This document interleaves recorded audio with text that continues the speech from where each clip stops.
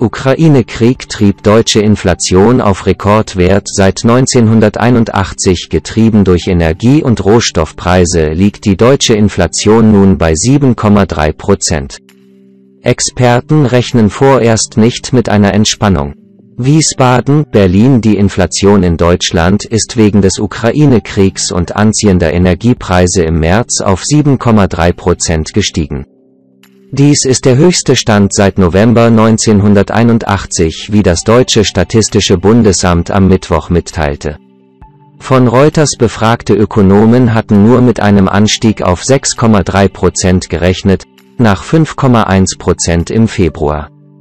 Dass die Inflation im März auf 7,3 Prozent gestiegen ist, liegt vor allem am Ukraine-Krieg, der die Preise für Heizöl und Benzin in die Höhe schießen ließ sagte Commerzbankchefökonom Jörg Krämer. Die Inflation ist gekommen, um zu bleiben. Helaba-Experte Ralf Umlauf erklärte, getrieben werde die Entwicklung vor allem von Energie- und Nahrungsmitteln. Darüber hinaus ist der Preisauftrieb aber auch breit angelegt. Tanken und Heizen drastisch teurer. Damit ist die Inflation weit vom Wert 2% entfernt, den die Europäische Zentralbank, EZB, mittelfristig als Ideal für die Konjunktur sieht.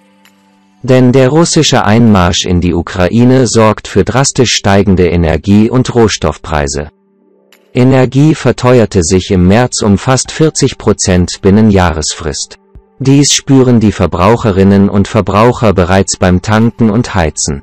Allein im bevölkerungsreichsten Bundesland Nordrhein-Westfalen, NRW, kletterte die Teuerungsrate im März auf 7,6 Prozent und damit auf den höchsten Stand seit 1973.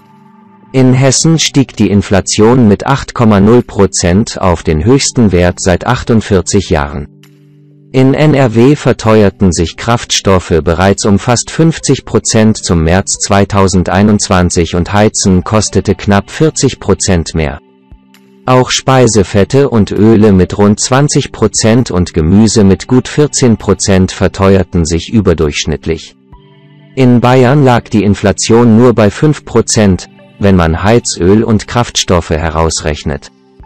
Deutschlandweit verteuerten sich Nahrungsmittel um gut 6% und Dienstleistungen um 2,8%, während Waren 12,3% mehr kosteten. Unternehmen erhöhen Preise. Auch Firmen macht die hohe Inflation zu schaffen. Die höheren Öl- und Gaspreise werden von Unternehmen und Dienstleistern in immer stärkerem Ausmaß auf Kunden übergewälzt, sagte Chefökonom Thomas Gitzel von der BP Bank. Damit gewinne der Preisauftrieb an Breite. Es dürfte nun deshalb auch mit deutlich höheren Lohnforderungen als Ausgleich für die Inflation gerechnet werden.